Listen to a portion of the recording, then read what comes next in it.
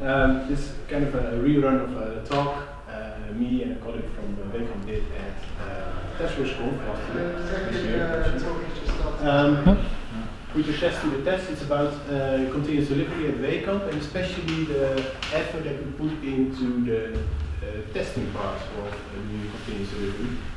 Because it's really easy relatively to put your application on a development environment, an acceptance environment, and a production environment. But uh, you don't want to do that without some sort of uh, uh, assurance that stuff is working according to you know what it's supposed to do.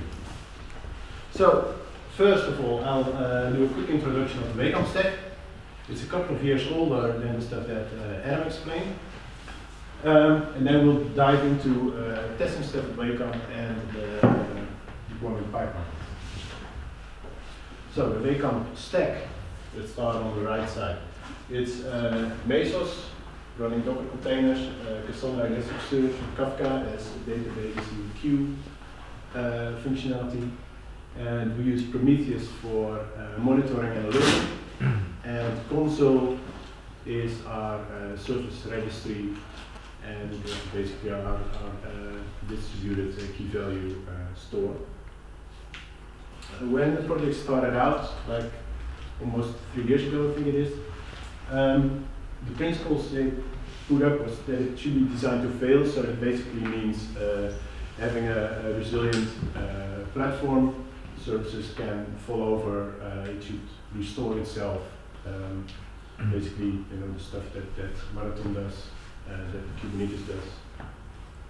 Uh, metadata driven, uh, we don't want to, uh, well, basically, like uh, uh, Adam said, with uh, with the Docker container also comes some sort of configuration, which kind of is the, metadata that, that surrounds the Docker container and the, the deployment descriptors basically that, that put it in production. Well, service oriented kind of explains itself if you're using microservices. Uh, TDD, always a nice exercise for developers. And uh, of course, uh, automation. Uh, Ian, you Yeah, said those principles are three years old. Are they still valid? they are still valid. Yeah, that, that's kind of, that's well, that's really nice. I don't, I don't know how well they're doing it, well, they're, they're doing pretty good with the TDDs thing, I suppose. At least, you know, they have solid testing, mostly in the build phase already, so that's, that's pretty good. Clear? Yeah. Um, it's a web shop, so, you know, all your usual suspects pop up. There's a web application, uh, we built it initially as a uh, a big web application that kind of sits in front of all the, the services. So uh, services for your accounts, you know, log in, uh, uh, register yourself, stuff like that. Shopping cart, obviously. Uh, checkout functionality, really important if you have a web shop.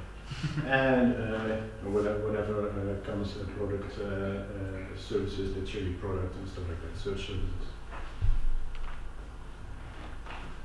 So, um, when uh, we push something to uh, master branch, um, of course you can do feature branches, but they don't get pushed onto the, uh, the test uh, environment. So you need to push it to master branch, which is really nice if you, know, integrate stuff. It's called continuous integration. Um, yeah. Uh, so. Uh, the build jobs that we create, they are created using uh, the uh, Yank job DSL, which is just looking into GitHub, figuring out all the uh, repositories, all the branches in the repositories, and creating build jobs for all of those. That's that's uh. That's definitely not three years old. well, that's that's running well. And I started I started in March, and that that's started in April this year. So that's that. And I started in March at Wehkamp, and uh, they already had that in place. it's interesting, you but uh, then the pipeline will be even mature. No, that's the pipeline. What? This the Jenkins job DSL that's in there for three, two, three years. Before that, okay. Yeah, this is. Yeah, no, I'm okay. Uh, I was, I. So, I also think that's new. So we have a build job, of course, uh, if you push something, then at some point uh, start building the application, the stuff is unit tested, and uh, uh, container is uh, created and pushed to a Docker hub, which is a horrible site, by the way. Um, you don't want to be a Docker. Um, and uh, Oh, you have to explain why. Hmm? Now you have to explain why. well, uh, first of all, uh, if you're doing an, an environment like this, you're doing lots of pushing and pulling to Docker registries, and having that one on the remote side just slows down stuff uh, tremendously. Um, secondly, the user interface of Docker Hub is just plain crap. So how do you solve that uh, problem? Uh, we wanna we wanna uh, move stuff, but we haven't done that yet uh, because well, we have other uh, stuff to do first. But we want to move it to uh, Artifactory. We've like our uh, libraries, the, the Scala libraries, the, the node libraries that we built there, they are already published, already published to Artifactory, and uh, our Artifactory repository is uh, running on AWS. By the way, I didn't mention that everything runs on AWS. Um, so there you go. Um, and then if everything is running in the same uh, uh, in the same uh, region as, uh, then everything is pretty fast. So. So this Ar- Artifactory is from uh, AWS. It's not like uh, self self-hosted applications. Um, sorry again? Uh, Artifactory? Yeah. Uh, I've never heard about that. So No, is this Artifactory is, is a different is a different company. We just take their Oh. services for. Uh, it's basically uh, well what Nexus does, uh, but then with a prettier interface. okay? You know, uh, you know, uh, Sonatype Nexus, I suppose. Not really. So it is a sort of resource agency. You, push your stuff, your resources, you push them in there and can get them later on. Um, uh, where was it? Oh yeah, I created the, the stuff in Docker where we don't want to be, and then uh, uh, notify deployment pipelines. Um, I said pipelines because uh, we have a site running in Belgium and we have a site running in the Netherlands, and both have a slightly different configuration. So if two deployment pipelines, currently we're building a third one, so we're also notifying that one. And you know, if if it's a, a service that is not running on that environment, then there is no job to actually be activated and just doesn't uh, doesn't continue deploying stuff there. But I should choose this one. So nine months ago, three months ago, it said six months ago, so it's actually accurate. Um, uh, we had an uh, automated deployment, so there were Jenkins scripts uh, in the uh, in the CD pipeline, and you could actually press the build now button, and it would deploy it to either a development, an acceptance, or a production environment.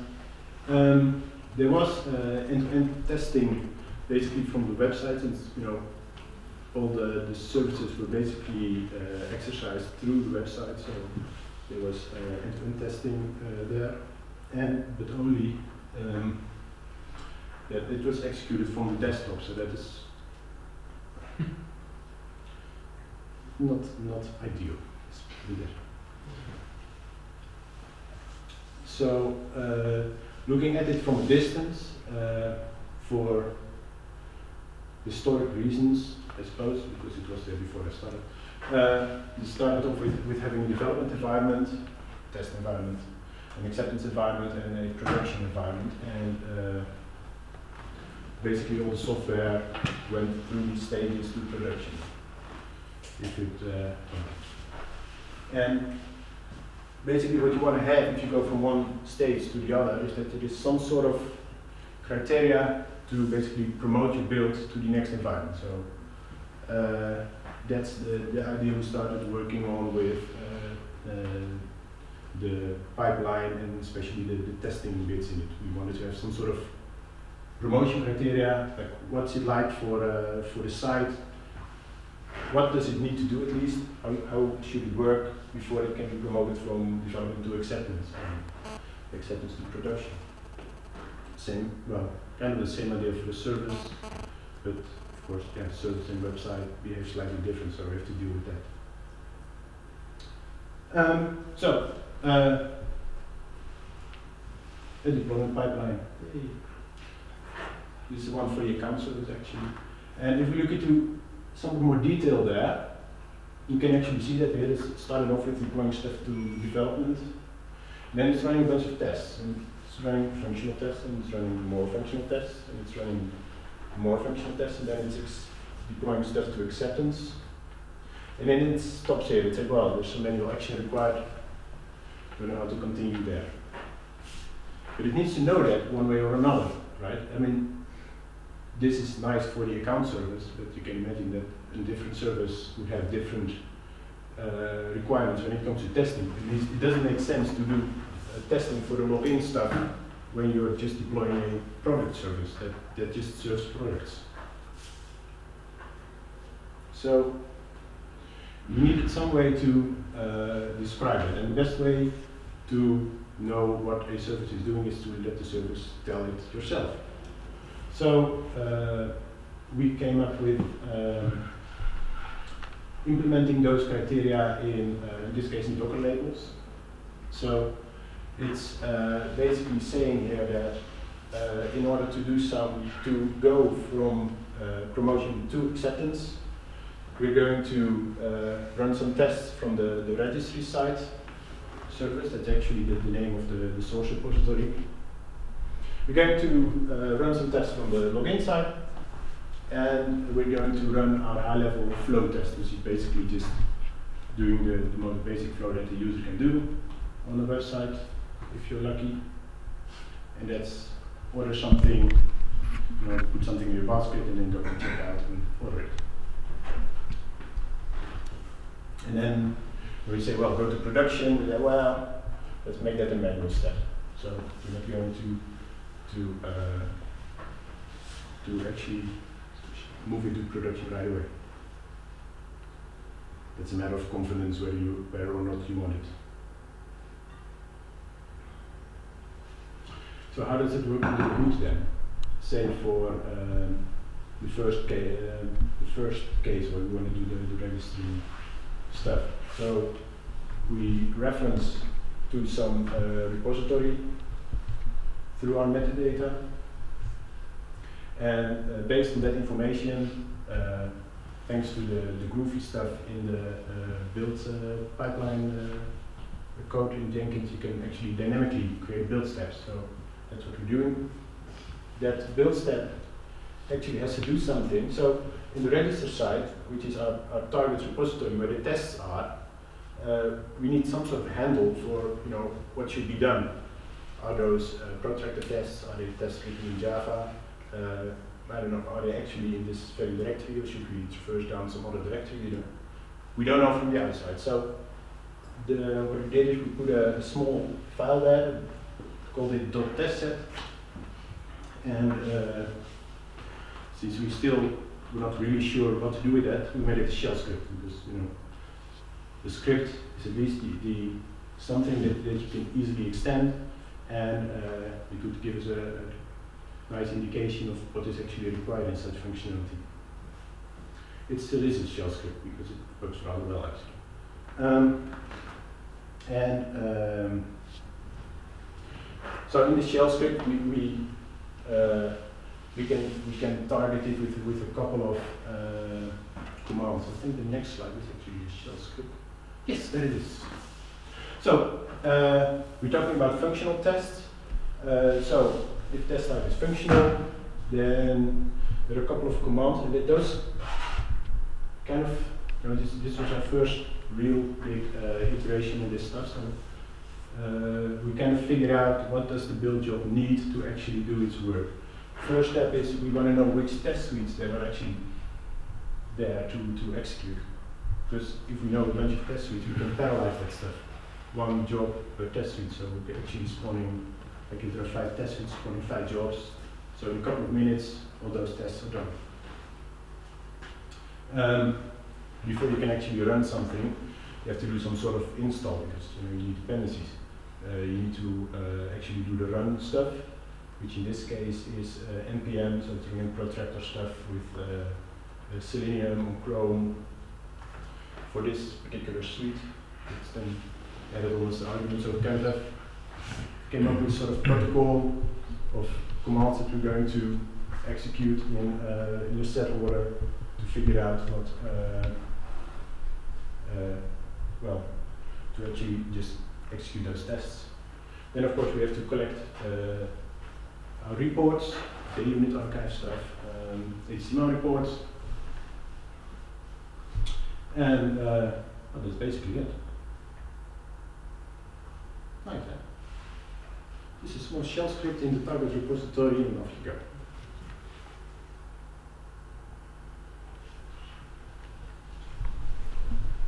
Um, still there is the, the subject of regression testing. Uh, did some research in this one, it's not really running in, in on any of the production servers yet.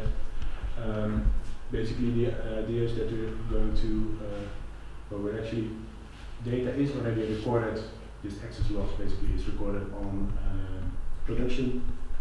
Um, and we're going to replay the data on our new version of the service on our acceptance environment is to figure out that it's still, you know, at least it should handle those requests because if that's a service that's to be updated on the production environment, at least it should handle the requests that it uh, that its uh, previous version could handle.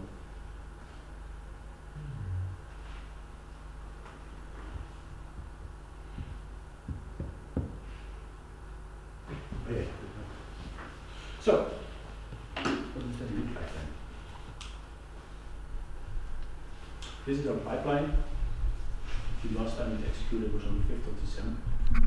Um, and in the pipeline, there's a third tab, yes, there is. I try to rule out all influences that could involve demo gods and sheep stuff. So here you can actually see what it's it's groovy and it's the um, there are two ways of writing groovy. One is the groovy way and the other way is the Jenkins way. They're both really different. The only way to figure out which one is the Jenkins way is by trial and error basically. Uh, somehow the, the Jenkins version of Groovy doesn't do all the pretty things that make Groovy a neat thing to work with. Um, so here you can see the, all those steps.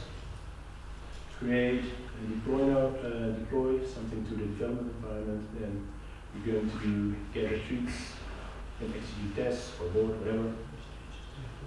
We're going to do the same for our acceptance environment to a production environment, and eventually, if we reach this point, it goes up to production. And uh, here you can actually see that there's, well, it involves a bunch of command execution, receiving back strings, parsing those, and off you go to the next uh, stage.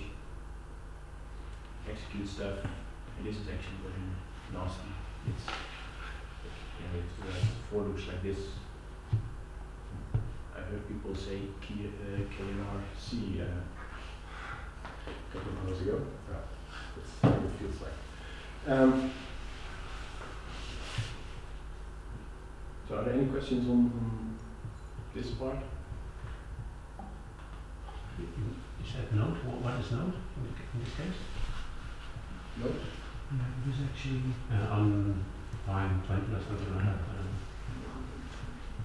yeah, uh, 17, sorry. Here. Yeah. Oh, note, this is, this is what actually uh, makes it execute on a build slave. ba- basically, And what, what comes out of this one, this thing is basically, uh, it's running as a closure on the node, so it's actually performing those tasks on the node. Uh, okay. So Ah, so- the, uh, you can also make uh, flyweight nodes, it's just are running on the the Jenkins server. and the, the pipeline itself is running on the Jenkins master, so you need to actually tell it to, to delegate Mhm. stuff to, to build slaves to do Yeah. the execution. So just to clarify, this, this is the um, DSL from the, the pipe, the new pipeline, pipeline 2 that Yeah, so this is, this is, only this is the script that creates the, that creates the pipeline that you saw on the previous slide, so. uh, whoa, that's- So this pipeline is actually built up dynamically by uh, introspecting, by just looking into what's in the, uh, in the Docker container, what kind of labels are in there, and processing those and, and Are you uh, actually the, the, the this. Using this as Jenkins file? Um, it's It's kind of the same idea, only it's more dense. Mm, yes, but you, you, you, you- showed uh, by using the, the, the old stuff, the, the pipeline, just in, okay, I have, here I have this script, or can you actually deploy this in your uh, code repository as Jenkins file? Um, no, at, at this point there is no uh, there is no source repository, but it, there is no source repository at this point. So, uh, you need to know where to get this that information from. Could put it in a Jenkins file, I suppose, although it would be a little more verbose. So this is purely the deployment pipeline, not the uh, Yeah. not the CI part. No, it's uh, the build stuff is done on a different server. Uh, okay. So it's, it's only the, the deployment and promotion to the next environment. Well, we actually What's, uh, what's the Oh, starting point that triggers creation of this pipeline? So the, the build, well, compilation and, uh, of the code and building the containers succeeded. Yes. Then you've got these containers with descriptors inside. Yes. So Those are- what actually triggers the creation of these pipelines, deployment Um, pipelines? The deployment itself is just started by that the, the CI server is just physically triggering the deployment pipeline. I have there's a new version and it tells it gives you the tag of that version, uh, the, the version number as you say. Okay, Um, but the pipeline is there, it's just not configured, it doesn't have stages yet, because No, they will be taken later. Yeah. Okay, and it doesn't have stages, so all it has is that dynamics, that big script, and all we tell it is that, you know, we know that this pipeline is already for a specific service, so that's information we know beforehand. The only thing we don't know is what version of the service we're going to deploy, so that's the one parameter that we provide. Uh, can you see that, I think, if my PM is working, which it isn't really. This is challenging, might fail. Actually, this.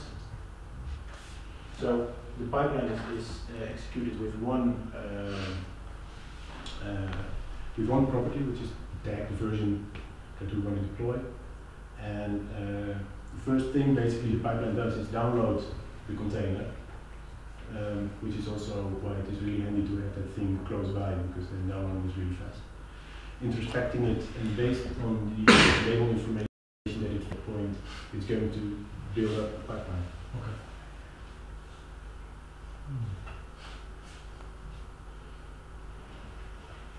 Was that yours?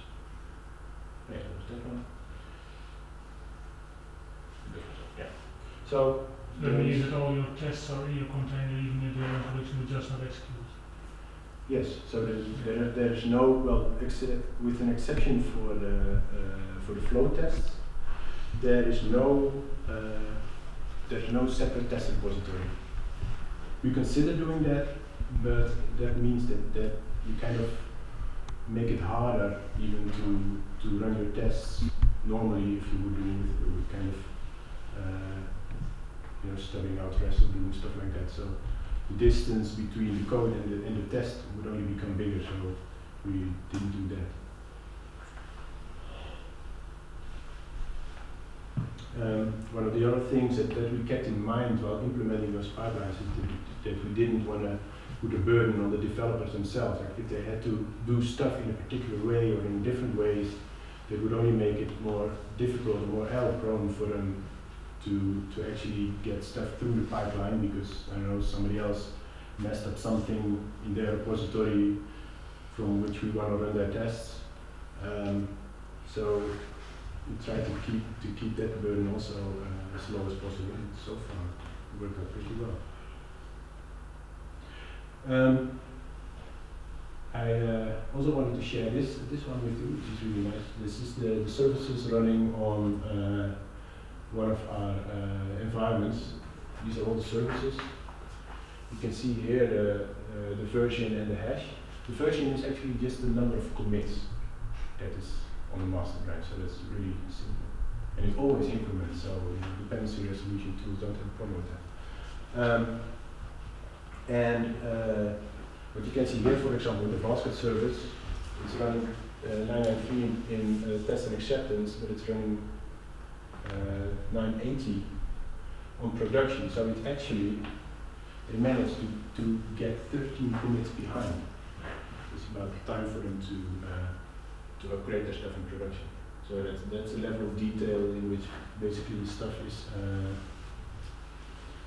uh, stuff is promoted to uh, production. So also that kind of makes us feel confident that whatever we test here has a fairly good chance of succeeding uh, here as well, because the differences in uh, code-wise are that small on our complete landscape, which is something that you have to take into account if you do something like this, because you know if I can do my integration tests here and they succeed, but this the, the production environment is, is lagging behind like weeks or months, then what's the value in testing stuff for a development environment that's completely different from production? Zero.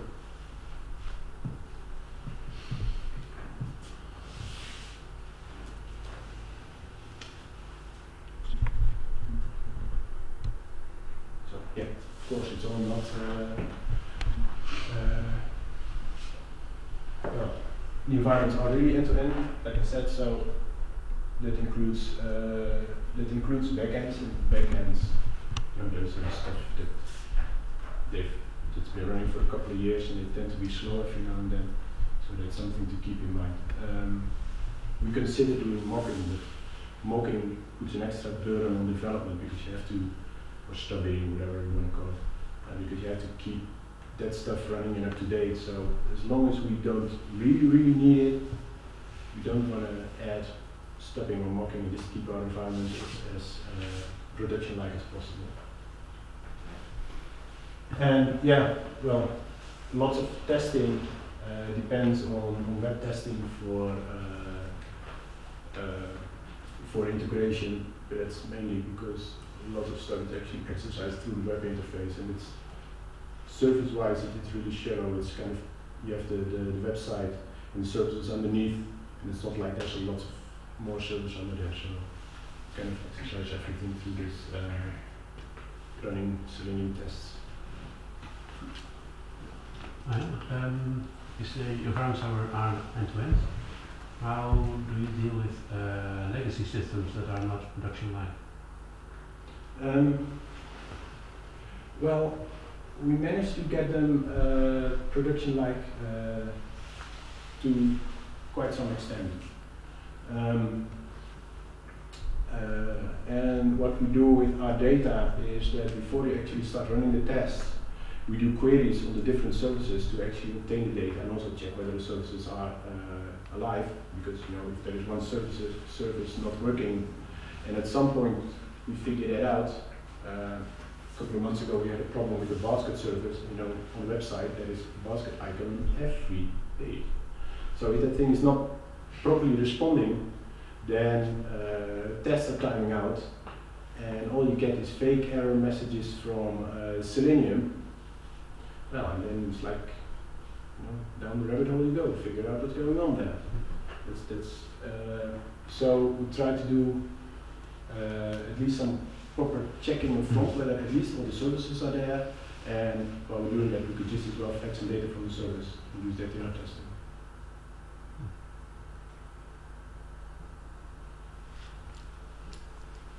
So there's, yeah, there's no hard-coded test data, for example, in the tests that you have to make sure is, is the same in every environment. Hmm. There are a couple of categories, like, you know, you need to have a, a thread. It's one of the most common queries that you have at Wehkamp, you know, so lots of, lots of clothing and fashion stuff, so the thread should be the least thing that you can expect in there, so even on the test environment. Do you change that over the season? Well, that is a, is a weird like.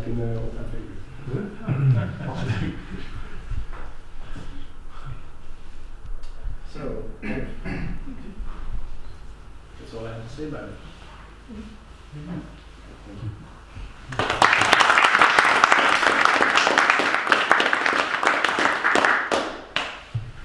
More questions? No more questions? Suggestions? My experience running your test through Selenium into there is a massive overhead. Um, could it be that you just don't have fine grained unit tests that you need to offload that? Um, we have uh, a bunch of them, and it's all also, uh, you know, th- those tests.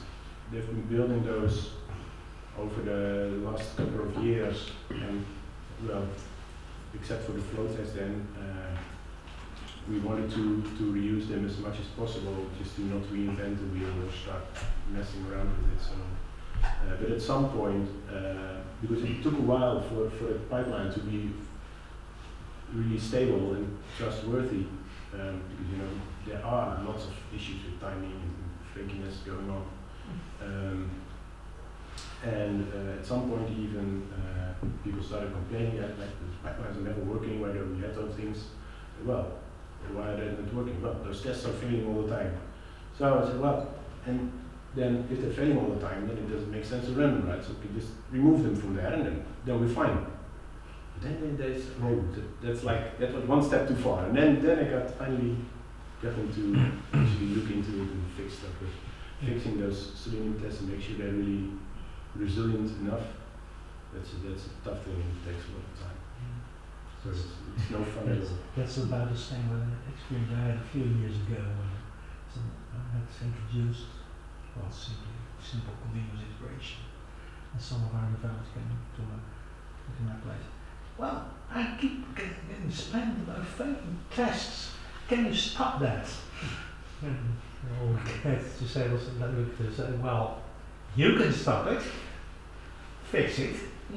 And that's also like the reason that, that we, uh, for example, if we run the web tests, we tell, uh, we tell the test script which service we are. So we're actually running tests from the, the, the site, um, but the script tells it, well, we are a product service. So the product, so it figures out this, the suites that only have to do with the product service. So we already limit limit our margin of error quite a bit by just running the stuff that is actually relevant for, for that particular service.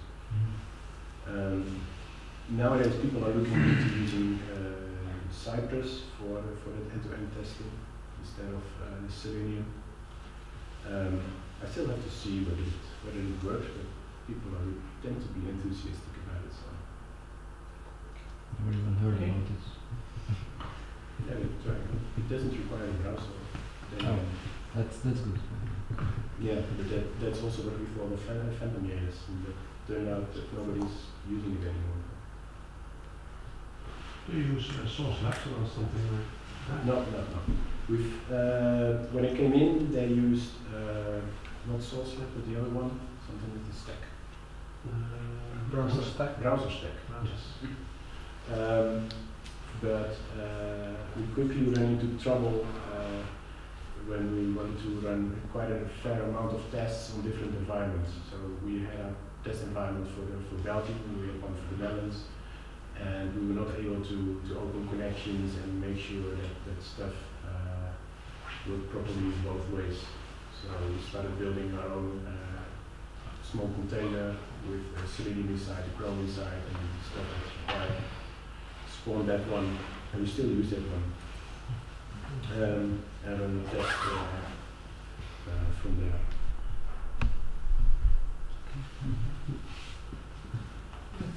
Uh, just a question. Um, what are you using for uh, performance testing, load testing of your infrastructure, and also, or what are you planning for maybe, and then uh, Um, also for security as well? for I, I had some, some nifty ideas, which uh, I tend to refer to as a cluster bomb. Um, since stuff is, is running in a cloud environment anyway, um, doing an old school performance test to me doesn't make a lot of sense. So uh, what we wanted to build, but we haven't come to that. The only thing we did is the, the regression stuff, which is actually just using Gatling uh, to execute those, uh, to, to replay samples. And we wanted to use uh, Gatling as a first uh, attempt at least to uh, to create a container and just launch that container in that particular environment and start exercising services there, uh, or basically uh, hammering one service and see what what happens then. Um, and by doing that, basically after every commit, you should be able to see a trend uh, rising. And if the trend line, say response time goes up, then you know you have something to do at some point.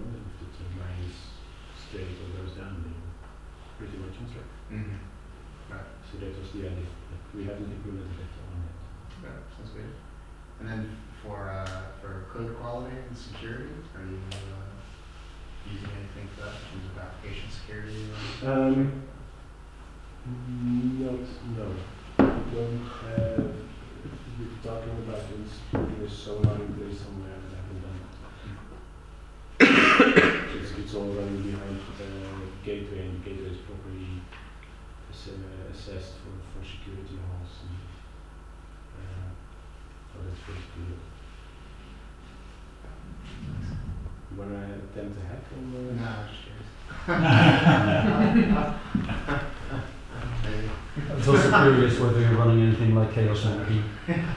No, we, we don't. Um, a colleague of mine, uh, and uh, that he isn't here, uh, he actually wrote a plugin for uh, which is kind of a half-life clone, first-person shooter.